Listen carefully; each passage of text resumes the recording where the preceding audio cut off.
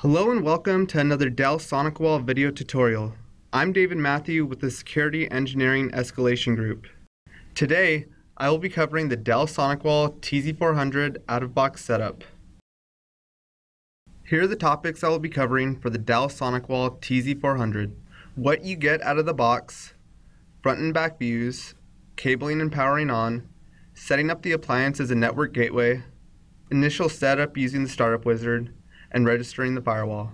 Also, please keep in mind that the setup in this video is applicable to most TZ series products. Thank you for purchasing the Dell SonicWall TZ400.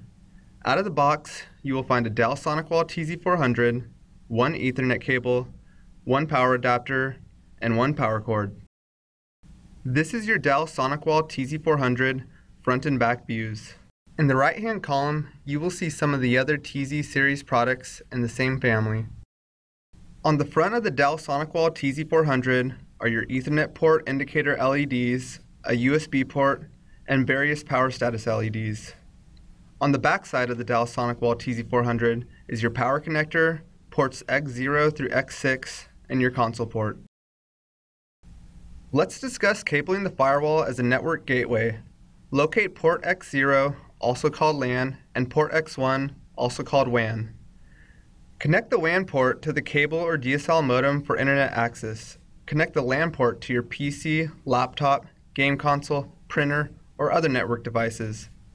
Other ports, such as X2, X3, and up, can be assigned to other networks. In this scenario, the X0 or LAN port is connected directly to the PC and the X1 or WAN port is connected to a DSL or cable modem for internet access. In this scenario, the X0 or LAN port is connected to a network switch.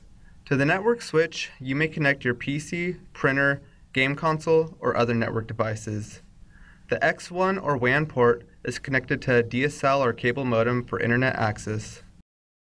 To power on the firewall, plug the power cable from the power adapter to a power outlet on the front of the firewall, an orange LED blinks during startup, which may take up to two minutes. If your DSL or cable modem has extra switch ports, you may directly connect them to printers, smart TVs, or game consoles.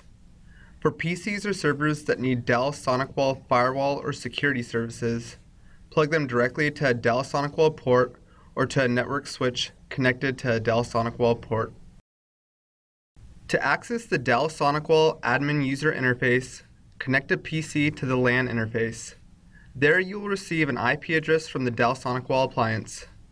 To access the Dell SonicWall, open a secure browser to the address 192.168.168.168.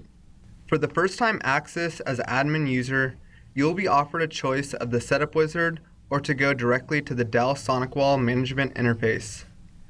At the Dell SonicWall management login page, the default admin username is admin, and the password is the word password. Now let's take a walk through the Dell SonicWall setup wizard.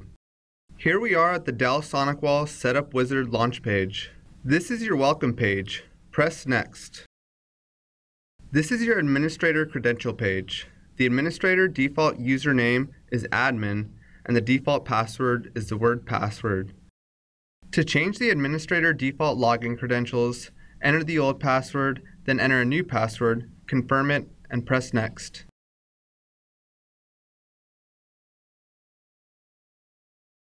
Here, the WAN port detected a DHCP server and retrieved the network information from the DHCP server. If we wish to manually configure the WAN port, click on Manual Configure. This option is for when a DHCP is not available or where network parameters must be configured manually. For this demo, we will accept the DHCP network configuration.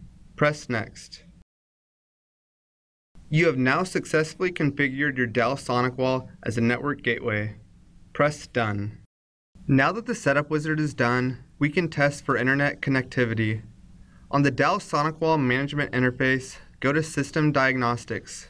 Scroll down to the Diagnostic tool and select Check Network Settings. Under Check Network Settings, General Network Connections, select the appropriate checkboxes and test buttons. You should get successful test responses. But if you get errors, the most common cause is a misconfigured cable connection. Also, please take note that the test results may fail with content filtering due to registration and licensing requirements. Now that your Dell SonicWall has been initialized by the Setup Wizard, you can register your Dell SonicWall by clicking one of the register links on the system status page. To register your Dell SonicWall from the license management page, enter your MySonicWall username and password and click submit. If you do not have a MySonicWall account, you can create one by clicking create MySonicWall account. A create account pop-up will appear where you can enter the needed information and click the register button to register. To learn more about Dell SonicWall security products, visit dellsoftware.com slash solutions slash network hyphen security. For more videos, visit dellsoftware.com slash support. I hope this video has been helpful. Thank you for watching.